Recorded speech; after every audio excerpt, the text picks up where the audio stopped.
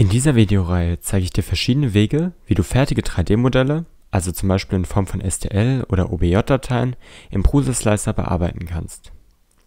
Du kennst es vielleicht. Man würde gerne das eigene Logo, Symbole, QR-Codes oder Text direkt auf aus dem Internet geladene Modelle drucken.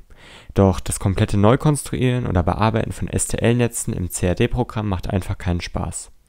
Mit ein paar einfachen Tricks lässt sich das aber auch ganz einfach hier im Prusa Slicer machen. Als Beispiel möchte ich jetzt mal mein Niantic-Logo auf diese Handyhülle bringen. Konkret soll ein Teil der Rückseite mit dem Logo ausgestanzt werden, um dann mit zwei manuellen Farbwechseln diesen Effekt zu bekommen. Dafür müsst ihr das Logo, welches in der Regel als Vektorgrafik vorliegt, zunächst in ein 3D-Objekt, sprich im besten Fall eine STL-Datei umwandeln. Das geht ganz schnell im CAD-Programm, wie hier Autodesk Fusion, oder aber auch mit diesem Online-Tool SVG to STL, welches direkt Objekte in der gewünschten Stärke ausgibt. Wenn wir das geschafft haben, müssen wir unser Logo hier als negatives Volumen zur Handyhülle bzw. dem gewünschten Objekt hinzufügen. Ich empfehle aber, das Logo gleich zur Galerie hinzuzufügen, in der es gespeichert wird und so für alle zukünftigen Projekte verfügbar ist. Dafür wählen wir hier unser Objekt bei Hinzufügen aus. Wenn wir nun auf die Vorschau des Logos klicken, wird es als negatives Volumen zu der Hülle hinzugefügt. Was wir als nächstes machen müssen, ist das Logo passend auszurichten. Dafür können wir zunächst das Drehen-Tool nutzen oder hier unten bei Rotate oder Drehen ähm, den Drehwinkel in den drei Achsen in Grad angeben. In dem Fall, naja, möchte ich das Logo hier auf der Unterseite gezeigt haben. Das heißt, ich drehe es erstmal um 90 Grad um die x-Achse. Und damit es nicht spiegelverkehrt ist, muss es nochmal um 180 Grad um die y-Achse getauscht werden. Und wenn wir uns das jetzt von unten anschauen, dann passt die Orientierung des Logos. Das ähm, ist jetzt natürlich von Logo zu Logo verschieden. Kommt natürlich auch darauf äh, an, ob ich das jetzt oben oder unten vom Modell ausstanzen will. Das kann man sich hier aber gut in der Ansicht im Prusa-Slicer anschauen. Nun ähm, müssen wir das Logo noch an die richtige Stelle bewegen. Da, das, da es hier ja aus der Rückseite ausgestanzt werden soll, muss es schon mal die Z-Höhe 0 haben. Die können wir auch hier in der unteren rechten Box angeben. So, jetzt liegt es hier auf der Druckplatte.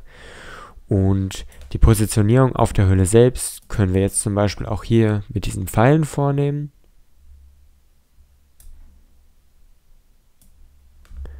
So. Oder aber auch die Lage, also die Position berechnen. Dafür können wir uns jetzt zum Beispiel mal die Ränder dieser Handyhülle hier ausmessen. Ähm, links sieht man da jetzt, sind wir hier so bei 135 mm, rechts bei etwa 115 und die Mitte daraus sind ganz klar 125. Und wir sehen, das Logo ist jetzt hier zumindest in X-Richtung sehr schön mittig platziert. Bei Y könnten wir das jetzt genauso machen, schaut aber einfach ganz gut aus. Das heißt, hiermit bin ich jetzt durch. Und ja, jetzt wird dieses Logo aus unserer Handyhülle, unserem Objekt herausgestanzt. Wenn wir das jetzt slicen, dann sehen wir das ganz schön. Und was wir jetzt noch als letztes kleines Detail machen können, ist zwei manuelle Farbwechsel hinzuzufügen. Dafür wählen wir uns erstmal die erste Schicht bei der das Logo wieder geschlossen wird, drucken dann ja, zwei Layer mit unserer Füllfarbe und wechseln dann zurück auf die Originalfarbe. In meinem Fall war das jetzt weiß, wo zwei Schichten schwarz dazwischen gedruckt wurden. Und dann können wir hier sehr schön sehen, wie das Logo sehr gut hervorgehoben wird und ja, unsere Handyhülle personalisiert ist. Der Vollständigkeit halber können wir das jetzt auch nochmal kurz mit Text machen.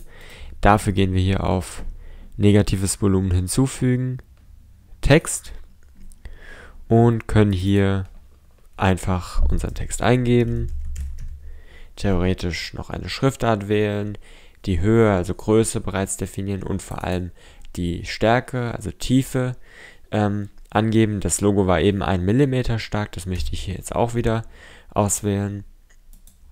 Okay, und dann naja, rotiere ich mir hier das Logo genauso wie eben.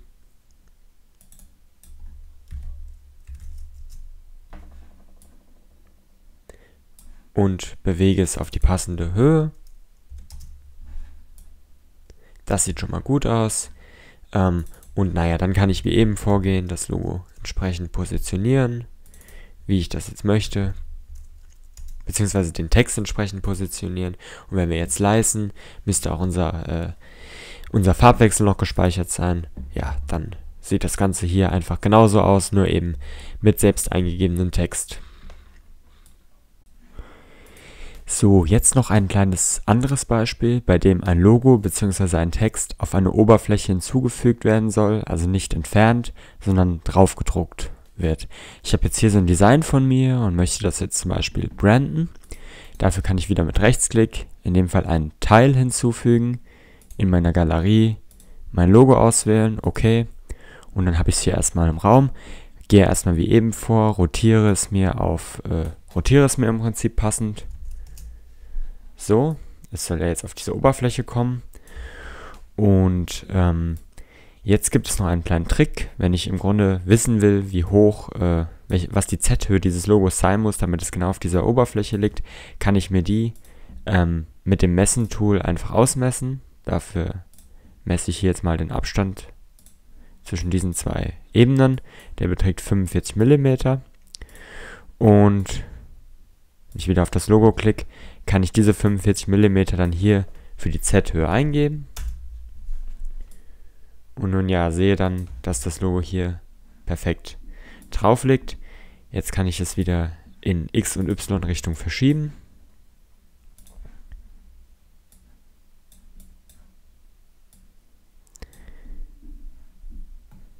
Sehe jetzt, äh, das ist noch ein bisschen zu groß und kann das demnach auch einfach ein wenig skalieren. So zum Beispiel. Hier nochmal ein kleiner Hinweis. Wenn wir dieses Schloss hier öffnen, können wir ähm, auch die, in den einzelnen äh, ähm, in den einzelnen Achsen äh, beliebig äh, skalieren, ohne dass sich die andere Größe mitändert. Das heißt, wir können es hier wieder 1 mm dick machen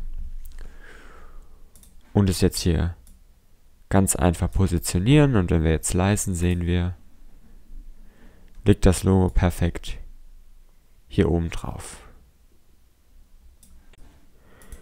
Ich hoffe, dieses kleine Tutorial hat dir gefallen. Vergiss nicht, den Kanal zu abonnieren, denn im zweiten Teil dieser kleinen ähm, Reihe geht es dann um das weitere Bearbeiten von STL-Dateien, wie zum Beispiel dem Hinzufügen von Bohrungen, Vergrößern von Löchern, Hinzufügen von Phasen und äh, weiteren Bearbeitungen mit dem Skalieren und Schneiden-Tool.